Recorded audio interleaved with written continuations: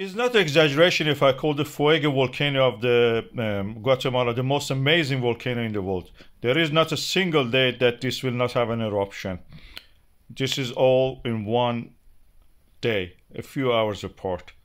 Every half an hour, every 20 minutes, every five minutes, sometimes you have one explosion. I will speed it up this so you can see actually. And these are substantial eruptions. This is a huge volcano in the Guatemala. It's part of the Ring of Fire of the Pacific Ocean.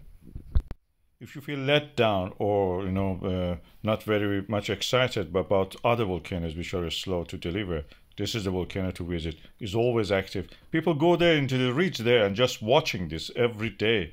That's beautiful.